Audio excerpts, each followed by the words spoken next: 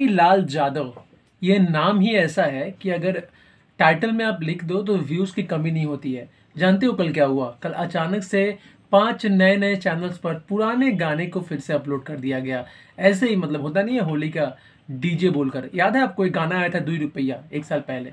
उस गाने को फिर से स्पा म्यूज़िक नाम के एक चैनल पर अपलोड किया गया, जिसका स्क्रीनशॉट मैं आपको दिखा रहा हूँ, देख पा रहे हैं आप स्क्रीन पे। जी हाँ। जी हाँ केवल एक दिन में 2.7 मिलियन व्यूज़ जी हाँ एक दिन में 2.7 मिलियन व्यूज़। आप सोच सकते हैं। अभी जो स्क्रीनशॉट दिखा रहा हूँ वेव म्यूज़िक वर्ल्ड बोलकर चैनल पर डाला गया एक गाना, पुराना गाना को उठाकर डाल दिया गया और व्यूज़ गए हैं एक दिन में 1.5 मिलियन व्यूज़। बाप रे! और भी ऐसे दो तीन चैनल पर वीडियो डाला गया है, जो कि डीजे बनाकर गाने को डाला गया है। तमाम आठ लाख, दस लाख व्यूज़ करके गए हैं।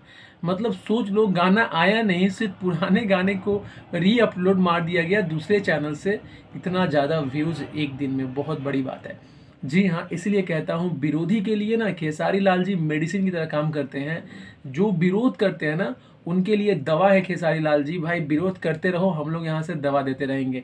और दवा, ऐसा ऐसा दवा देंगे कि आप लोग देख के ना पगला जाओगे। जी हाँ ये तो अभी ट्रेलर है, असली होली तो बाकी है। नहीं है टक्कर में, मत पड़ो खेसारी के चक्कर में। जी हाँ कैसा लगा ये वीडियो? आपको कमेंट ज़रूर करना है और ये भी बताना है कि खेसारी लाल जैसा कोई है क्या भोजपुरी में?